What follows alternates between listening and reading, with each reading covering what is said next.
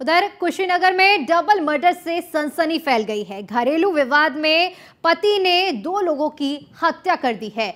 पत्नी और बेटी को मौत की घाट उतार दिया गया है। उधर पुलिस ने दोनों शवों को कब्जे में लेकर पोस्टमार्टम के लिए भेज दिया है।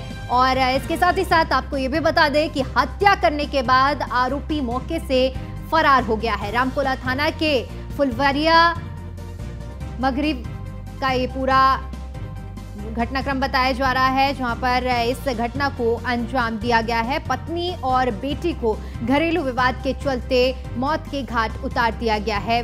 हत्या का आरोप पति पर लगाया जा रहा है। कुशीनगर में डबल मर्डर से सनसनी इस वक्त फैली हुई है। वजह बताई जा रही है, घरेलू विवाद, जिसके चलते पति ने दो लोगों की, यानी कि अपनी पत्नी और बेटी को ही मौत के घाट उतार दिया है।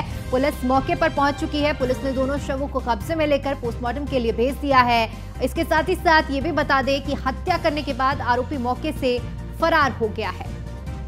रामकुला थाना के फुलवारिया मगरिब का ये पूरा घटनाक्रम बताया जा रहा है, जहाँ पर पत्नी और बेटी की हत्या करने के बाद आरोपी मौके से फरार हो गया है।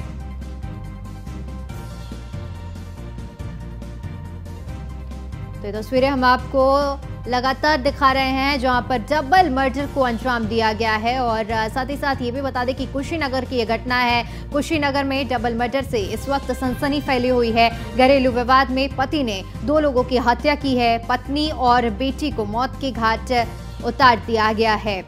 पुलिस ने दोनों ही शवों को कब्जे में लेकर पोस्टमार्टम के लिए भेज दिया है।